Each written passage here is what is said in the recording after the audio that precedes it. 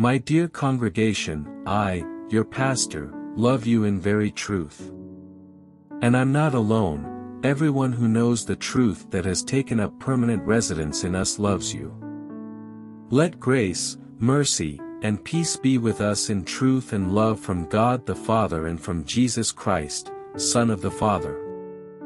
I can't tell you how happy I am to learn that many members of your congregation are diligent in living out the truth, exactly as commanded by the Father.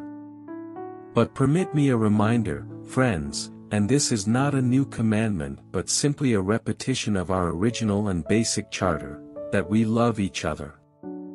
Love means following his commandments, and his unifying commandment is that you conduct your lives in love. This is the first thing you heard, and nothing has changed. There are a lot of smooth-talking con artists loose in the world who refuse to believe that Jesus Christ was truly human, a flesh and blood human being. Give them their true title, deceiver. Antichrist. And be very careful around them so you don't lose out on what we've worked so diligently in together, I want you to get every reward you have coming to you. Anyone who gets so progressive in his thinking that he walks out on the teaching of Christ, walks out on God. But whoever stays with the teaching, stays faithful to both the Father and the Son.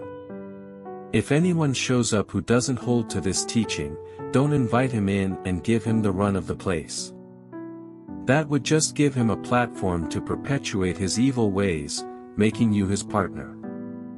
I have a lot more things to tell you, but I'd rather not use paper and ink. I hope to be there soon in person and have a heart-to-heart -heart talk. That will be far more satisfying to both you and me. Everyone here in your sister congregation sends greetings.